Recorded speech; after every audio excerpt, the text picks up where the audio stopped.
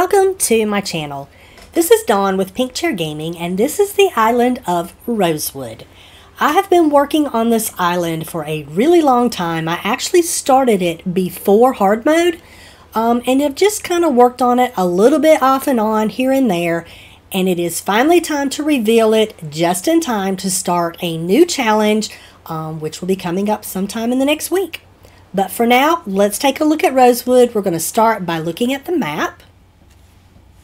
All right, here we go. Here's the map. The DA is at the bottom.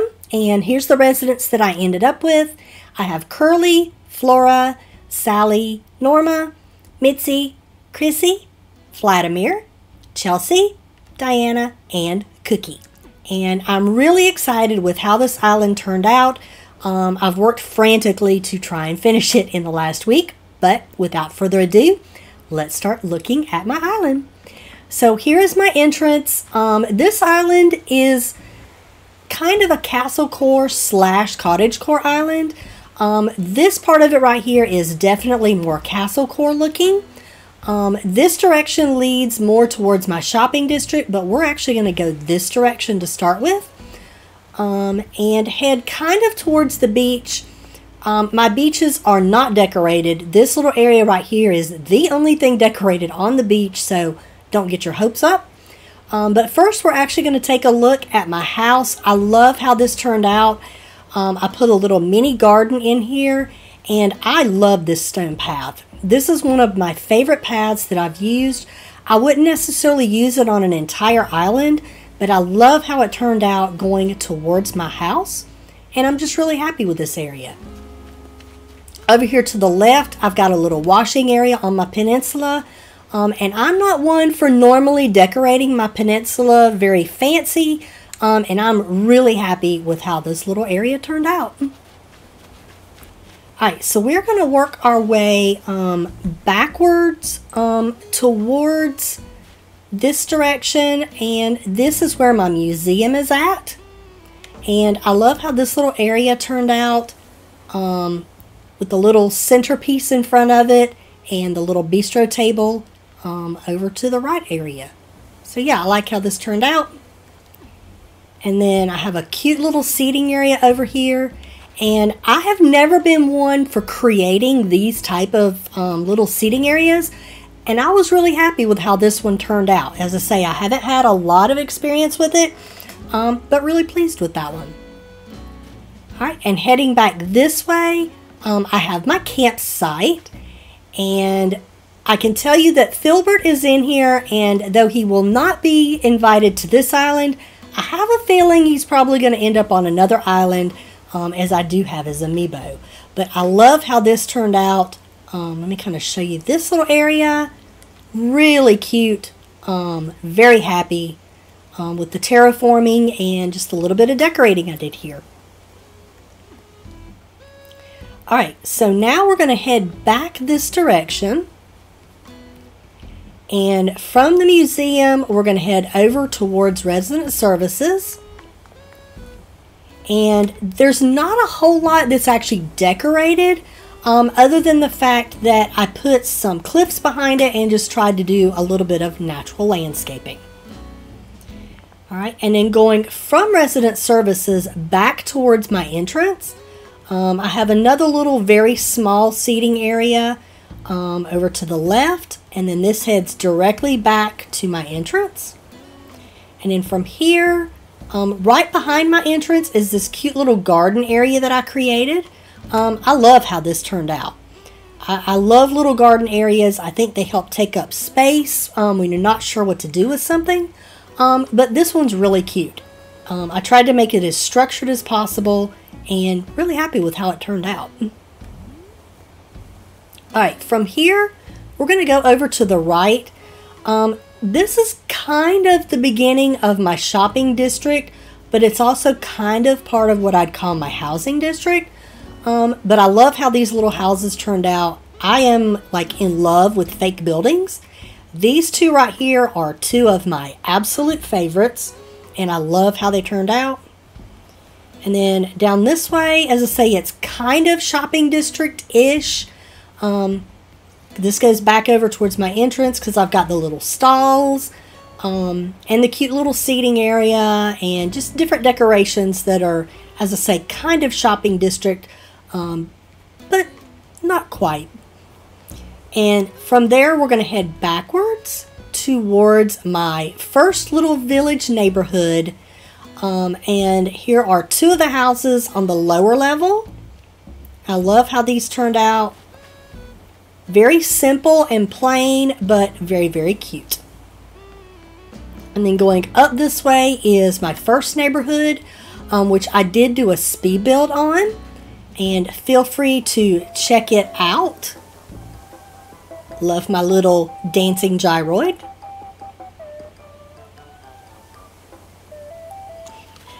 Alright, we're going to go around this way through the neighborhood. Um, I'm very happy with my little seating area in the middle. Um, just another little centerpiece, but a little bit different than the one that's in front of the museum. And then I've got a house over here with a little bit of plant decoration. And then going back this way, um, you're not really supposed to go behind here, but if you decided that you wanted to, you can sneak back in here um, and take a look at the terraforming back up in here. Alright, we're going to continue back around this way. And then back over here, kind of hidden behind, is a staircase that leads to my castle. And this is one of my favorite parts of this island. This was what I had in mind when I created the island. Um, and this is my castle design. Love how it turned out. And I do have a speed build for this. I'll put a link up at the top if you're interested in going and watching it.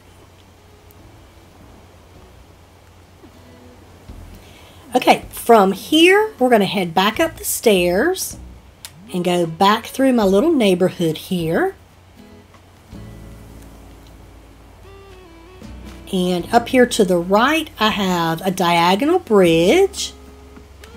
And I love how this view turned out. Um, I will show you where that goes to in a minute, but this is just a really cool view. It's not easily accessible, so I'll have to show you how to get to it if you do want to go that way, but I like how it turned out. All right, so from the diagonal bridge, we're going to go into my cute little orchard area. Um, this is another build I've never tried to do before, and I just tried to look at lots of different inspiration and get some feel for what to do, and I love how this turned out. I have never actually used um, the umbrellas before as decoration like this. Love it. Very happy with it. And then I've got a cute little barn area back here. And then if you're interested in seeing um, that terraforming, there is a vine right here that will take you down. Um, and this is where that goes to. And I do like how this turned out. Lots of terraforming. Um, I think you could get up there if you wanted to roam around and look, um, but I tried to leave most of the decoration to the front part of it with a view from right here. But this little area, if you hop across, you can take this little path which does lead back to my secret beach. Um, I don't have it decorated, but at least it makes it easy to get to Redd when he was here. Alright, we're going to go ahead and head back up this way.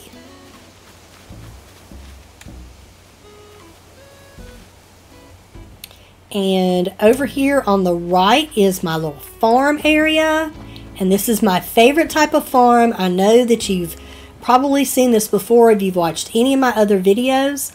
Um, but that's okay. This is my favorite way of doing a farm. You can see I did do the farm building a little bit different this time. Um, I did use the um, the medieval walls instead of the storefronts to do my my little farmhouse. Um, but I like how this turned out.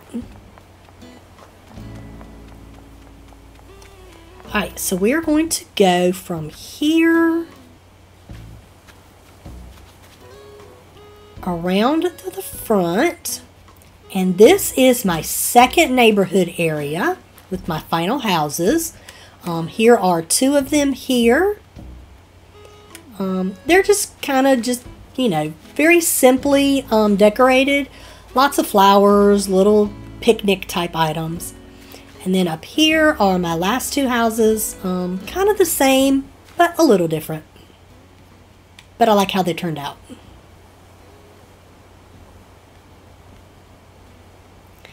right, and then from here, we're going to go down into my shopping district. And this is my true shopping district. Um, over here to the right, I have my little bakery that I created. And I love this. This is also the first time I've ever used the hats um, to do the cakes. And I love how they turned out in my bakery, um, along with some of the actual food items. And then there's a couple little bistro tables to sit at. Um, and then up here is Nook's Cranny. Um, it's, you know, nothing spectacular, but kind of simple, but I really like how it turned out. Um, I love this code back here with the breeze blocks with the little flowers on them. I just thought that turned out really cute. And then going back over this way um, is my canal. And I love this little um, little view right here. I just love how this turned out for the end of the canal.